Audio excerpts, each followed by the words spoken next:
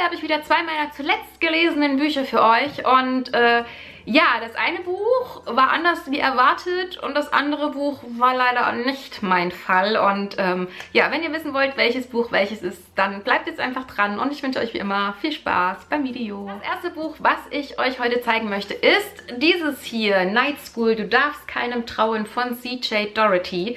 Ähm, diese Bücher waren ja damals in aller Munde und sind ja auch sehr, sehr gehypt worden, wo die rausgekommen sind. Und ähm, ich habe die Bücher letztes Jahr von Annika zum Geburtstag bekommen, die ersten drei Teile, denn Annika ist auch ein sehr, sehr großer Fan der Night School Reihe.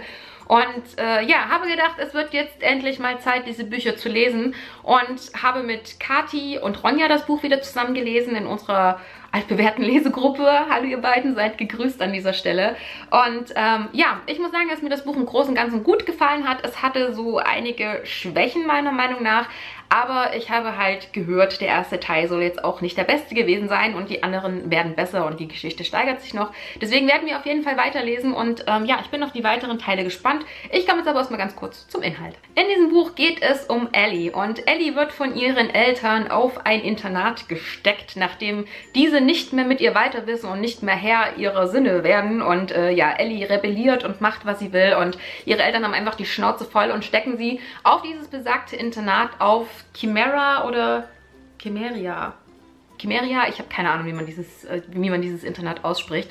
Und äh, dieses Internat ist ein sehr, sehr traditionelles Internat. Denn auf diesem Internat gibt es keine Telefone, kein Internet. Es sind Computer verboten, Handys verboten. Es ist dort wirklich noch alte Schule, man kann Briefe schreiben und äh, man darf über die Direktorin mal mit seinen Eltern telefonieren. Aber ansonsten ist alles andere strikt untersagt.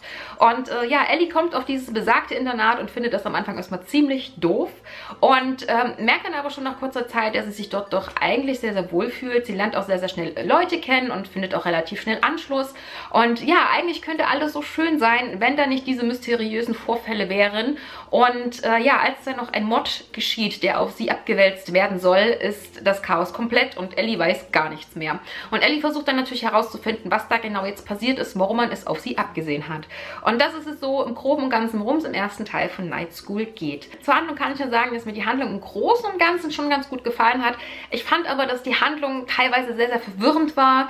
Ähm, es gab manche Stellen, die waren einfach unlogisch. Da waren einfach Logikfehler drin von der ganzen Denk- und Erzählweise her, meiner Meinung nach. Und ähm, ja, also die Handlung war nicht richtig rund. Für mich hatte das Buch, was die Handlung betraf, schon einige Schwächen und das ist auf jeden Fall noch verbesserungswürdig.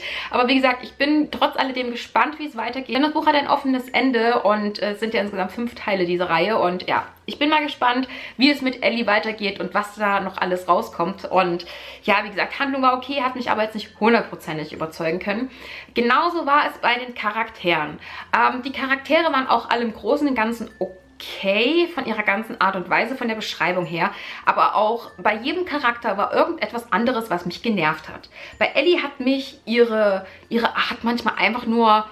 Oh, ich habe echt nur so gedacht, so, boah, Augenroll. Was soll der Scheiß? Was soll das Ganze? Ich raff es nicht. Und äh, ja, also von Ellie war ich teilweise einfach echt genervt als Protagonistin, was aber auch natürlich wieder daran liegen kann, dass ich äh, fast doppelt so alt bin wie die Protagonistin und ich mich einfach manchmal in Jugendliche einfach nicht mehr so hineinversetzen kann.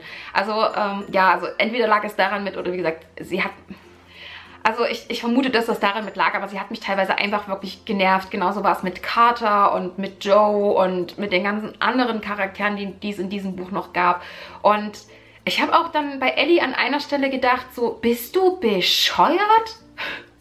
Wie kannst du jetzt einfach so sagen, ja, ist alles wieder gut? Also da ist eine Szene gewesen mit einem anderen Charakter, woraufhin sie dann ziemlich pisst auf den Charakter gewesen ist. Und ähm, ich habe das super nachvollziehen können, dass sie jetzt pisst auf den Charakter ist. Und ich hätte diesen Charakter auf den Mond geschossen, ganz ehrlich, wenn er das mit mir gemacht hätte.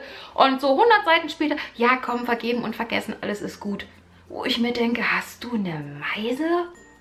Ganz ehrlich? Ja, also wie gesagt, es, es war ein bisschen schwierig mit Ellie und mir und wie gesagt, die ganzen Nebencharaktere habe ich auch nicht verstanden. Und ähm, ja, also was die Charaktere betrifft, war es okay, aber es war jetzt auch hier nicht ganz rund für mich und ähm, ich hoffe, dass ich da, was das betrifft, in den nächsten Teilen das noch ein bisschen weiterentwickelt, dass wir die Charaktere noch ein bisschen besser kennenlernen, dass wir sie besser verstehen können und ähm, ja, dass das nicht mehr ganz so unrund ist für mich. Ansonsten, was das Setting betraf, fand ich das mega cool. Ich fand dieses alte Herrenhaus oder was das jetzt auch immer war, was sie zu dieser Schule umgebaut haben, richtig, richtig gut. Ähm, ich fand die Beschreibungen auch gut in diesem Buch. Ich konnte mir die Orte gut vorstellen. Ich ähm, konnte mir auch die Interaktionen in den Szenen eigentlich ganz gut vorstellen. Immer, ich hatte da wenig Probleme mit. Also das hat schon gepasst und ähm, ja, vom Setting her war es auf jeden Fall mega cool. Und es spielt ja komplett alles nur an dieser Schule, außer die ersten 50 Seiten, wo Eddie noch zu Hause ist, bevor sie dann auf diese Schule kommt. Spielt sonst ansonsten alles auf dieser Schule.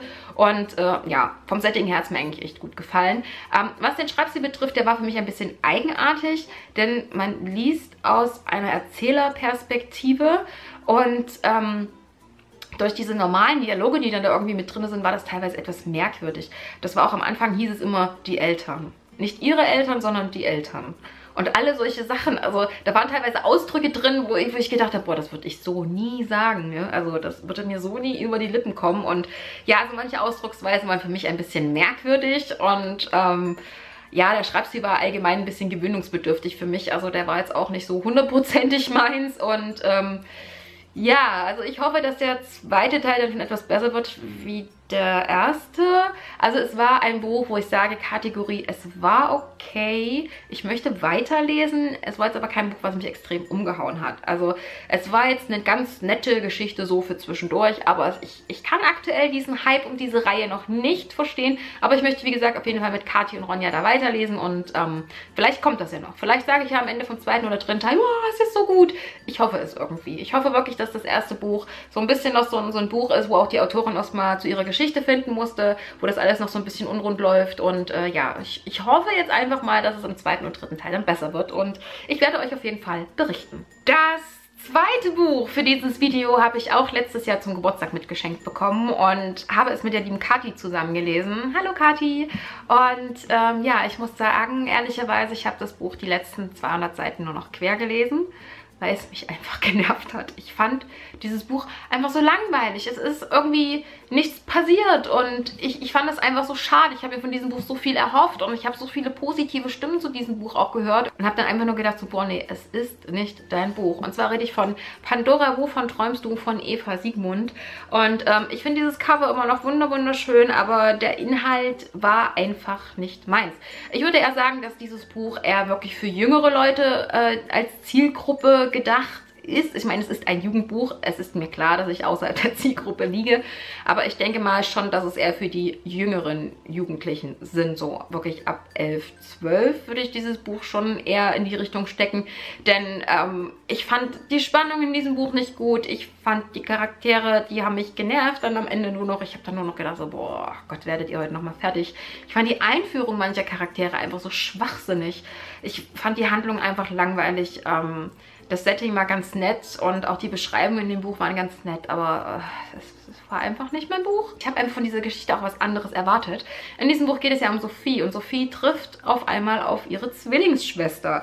Ähm, sie wusste nicht, dass sie eine Zwillingsschwester hat, sie wusste nicht, dass sie von ihrem Vater adoptiert ist und somit bricht für sie erstmal in dem Moment ihre Welt zusammen und äh, sie kann das alles erstmal irgendwie nicht verstehen. Und als sie dann auch noch erfährt, dass ihre Eltern beide tot sind und ihre Mutter ermordet wurde, ähm, ist das Ganze noch mal ein Stück weit komplizierter. Und Sophie versucht dann mit Liz gemeinsam etwas mehr über ihre Vergangenheit und ihre Eltern herauszufinden und stoßen dabei auf ein großes, großes Geheimnis.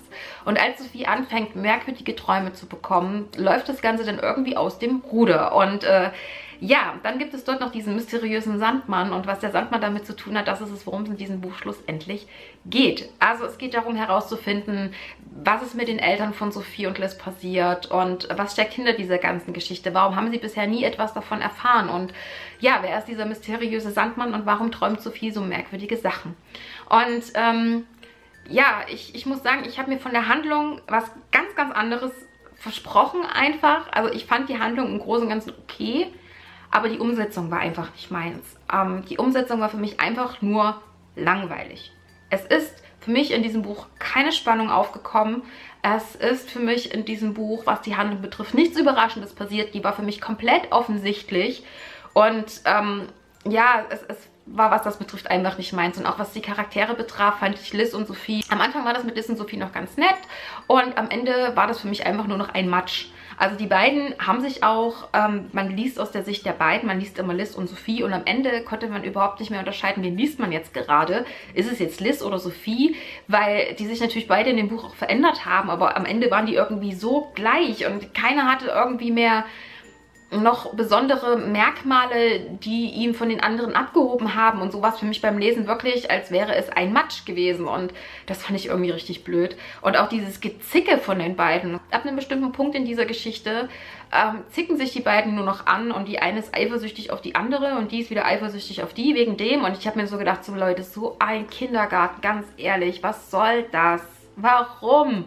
Ihr versucht hier gerade einen Mord aufzudecken. Was soll das? Und auch die Einführung mancher Charaktere war einfach für mich absolut hohl.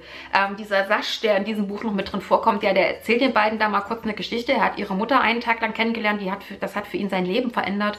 Und seitdem fand er die Mutter von den beiden ganz, ganz toll. Und er hat sie abgöttisch geliebt. Und... Hä? Er hat die Mutter einen Tag gekannt. Die haben einen Tag zusammen verbracht, als er noch ein kleines Kind war. Und das hat ihn so geprägt. Ganz ehrlich, das nehme ich, das nehme ich nicht ab. Das, das, also, das war für mich absoluter Schwachsinn. Und ähm, das, nee, das war für mich irgendwie alles so, äh, nee. ich habe ich hab, erst habe ich gedacht, okay, da steckt doch bestimmt noch mehr da dahinter, steckt es aber nicht. Und ich habe mir nur so gedacht, so ein Blödsinn. Und dann taucht auf einmal noch der beste Freund von dem am Ende auf, von dem vorher nie die Rede war in diesem Buch von dem man überhaupt nie irgendwas gehört hatte und die beiden vertrauen den natürlich blind und ja, es war nicht meine Geschichte. Also wie gesagt, die Handlung war nicht meins, die Charaktere waren nicht meins, vom Setting her war es ganz nett. Das Ganze spielt in Berlin, irgendwo in der Zukunft und auch diese technischen Aspekte, die in diesem Buch drin vorkamen, haben mir eigentlich sehr, sehr gut gefallen mit diesen Ports, die man im Kopf haben kann und ähm, ja, und auch diese ganze Traumgeschichte, die da noch mit eine Rolle spielt, was diesen Sandmann betrifft, fand ich auch sehr, sehr interessant. Aber wie gesagt, die Umsetzung war einfach nicht meins. Die war mir einfach zu langweilig. Die Szenen waren einfach teilweise zu langatmig und man hat einfach alles komplett kommen sehen. Da war für mich keine Überraschung in diesem Buch mehr mit drin. Ähm, was den Schreibstil betrifft, wir haben ja einen ganz äh, schlichten, einfachen Jugendbuch-Schreibstil, was ja auch völlig okay ist für diese Geschichte, aber auch der Schreibstil konnte mich absolut nicht packen. Der war für mich jetzt nichts Besonderes. Es war ein, wie gesagt, guter Jugendbuch-Schreibstil, aber es ist für mich nichts, was besondere Merkmale hat, der jetzt irgendwie aus der Masse heraussticht und ja, Pandora, wovon träumst du, war einfach nicht mein Buch. Und ich habe auch, wie gesagt, am Ende habe ich es dann nur noch quer gelesen und hatte aber auch nicht das Gefühl, dass ich irgendwas verpasse. Also ich hatte auch kein Problem damit, wenn ich manche Absätze übersprungen habe, in der Geschichte weiter voranzukommen und nicht den Faden zu verlieren. Und das sagt meiner Meinung nach, das sagt meiner Meinung nach auch schon sehr viel über die Geschichte aus. Denn wie gesagt, plötzliche Wendungen und Überraschungen gab es hier nicht. Man hatte hier einfach Plot-Twists, die man immer kommen sah. Und wie gesagt, auch wenn man das Buch jetzt zum Ende hin nicht komplett durchliest und es quer liest wie ich, verliert man nicht den roten Faden. Und ach, ja, ich habe es jetzt durch, ich habe es hinter mir. Dieses Buch wird definitiv wieder bei mir ausziehen. Und ähm, ja, es, es war einfach nicht mein Buch und es war nicht meine Geschichte. Und alle Pandora-Fans da draußen, es tut mir leid, aber es war einfach nicht mein Buch. Das waren zwei meiner zuletzt gelesenen Bücher und beide waren irgendwie nicht richtig rund. Wie gesagt, Pandora war so überhaupt nicht mein Fall. Bei Night School hatte ich doch relativ viel zu meckern. Und äh, ja, wie immer gilt, wenn ihr die Bücher kennt und schon gelesen habt, schreibt mir eure Meinung gerne unten in die Kommentare und nicht vergessen, hier geht es um meine Meinung. Ihr dürft eine andere Meinung haben. Es ist doch völlig okay, wenn ihr anderer Meinung seid. Äh, ja, mehr gibt es an dieser Stelle auch nicht zu sagen. Ich bedanke mich wie immer fürs Gucken, wünsche euch noch eine schöne Woche. Bis zum nächsten Mal. Macht's gut. Tschüss.